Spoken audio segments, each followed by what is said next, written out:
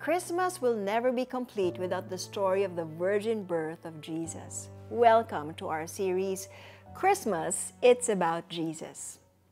Ang sabi ni Marites, sa Pinoy slang these days, tinatawag na marites ang mga chismosa. Sila yung mga unang nagpapakalat ng balita, totoo man o hindi. Nai-imagine mo ba kung kamusta yung mga marites ng Nazareth nung malaman nilang nagdadalang tao si Maria kahit hindi pa ito kasal kay Joseph? Tingin ko nga, inaisip din ni Maria kung ano yung sasabihin ng mga marites noong ibinalita sa kanya ni Angel Gabriel na ipagbubuntis niya ang sanggol na magiging Mesaya. Bilang isang gentleman, bagaman nagsisink in pa lang din sa isip ni Joseph yung mind-boggling announcement ng anghel, gusto rin niyang protektahan ang reputasyon ng kasintahan niyang si Maria. Now, if we're going to make a movie scene about what happened, sigurado maraming masasabi ang mga marites noon. Tunay ngang kahit saan ka magpunta, kahit anong kultura, public opinion will always be present. And sometimes, these opinions are not only unsolicited, they're also damaging.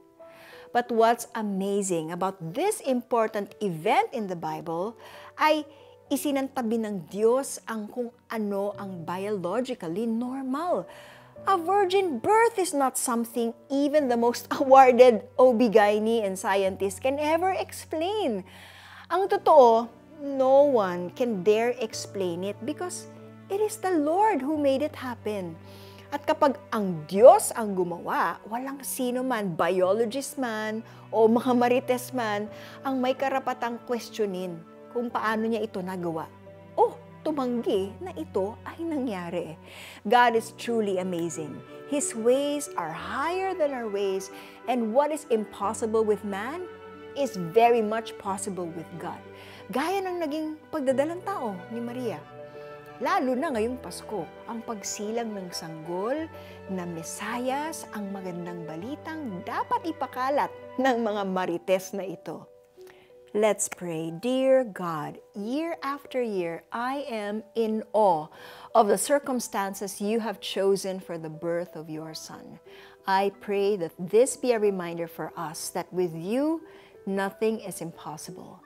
And we are not to lean on our own understanding, but to trust you with all of our hearts. In Jesus' name, amen. How can you creatively share with others the circumstances of the birth of Jesus the Messiah? Pag-isipan at ikalat mo ang magandang balitang ito. Dahil dito, si Yahweh mismo ang magbibigay sa inyo ng palatandaan. Maglilihi ang isang dalaga at magsisilang ng isang sanggol na lalaki at tatawagin sa pangalang Emmanuel. Isaiah chapter 7 verse 14. Ang inihula noon ng mga propeta na kapanganakan ni Jesus ay naganap na sa kamanghamanghang paraan. And God truly deserves our praise and adoration. Join us again tomorrow. Ako po si Miriam Kiambao Roberto. God bless.